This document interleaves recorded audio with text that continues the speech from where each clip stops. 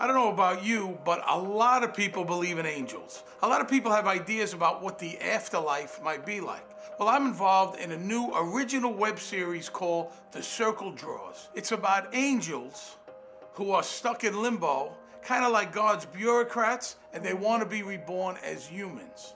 I don't really understand it, and I'm not sure if the characters in the show understand it, but it's a really, really well done, cool show, and I hope you check it out and spread the word.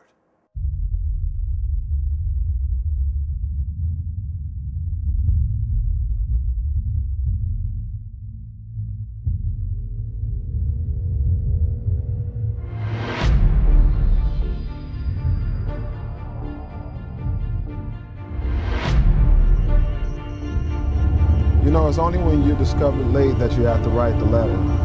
For example, they got me, and I was three years old. You have any questions on the contract? Ask me now. I am not to be awakened. I am Oleg. I come from the Nakashima office in Moscow. We need to get an angel back that has been living as human. I can't put my finger on it. I mean, he always does his homework and can answer questions when I call on him in class. You have to remember we are pulling a human out of his life. Vuela de aquí. You mean I was supposed to be born an angel instead of a human? Say goodbye to your life. All right, listen to me, Lewis. You're an angel now, a circle drawer, the lowest form of angel. Your being has been erased from your parents, your friends, your relatives' lives. But to us, well, you're a fellow angel.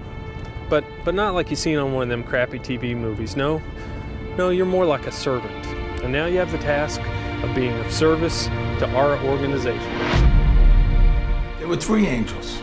One supposed to make the country, another supposed to make the sky, and another one to hide the happiness. Where the humans would never find it. Inside the humans where they never think to look. Ever told the women about this? No, there is no need to do that yet. So what are you? A circle drawer? I am uh, just a messenger. You just helped us find the possible uh, enlightened one.